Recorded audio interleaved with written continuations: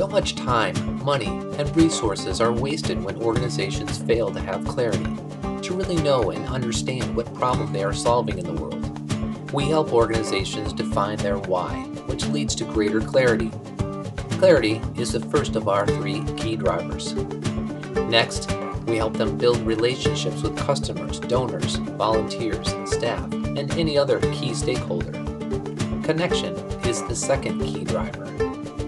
Finally, we help organizations become social enterprises, moving away from a transactional business model to a relational one so as to increase one's contribution.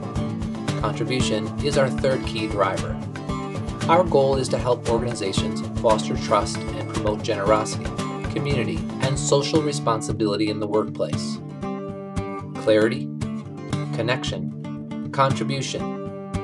For more information, go to www.socialeconomics.us.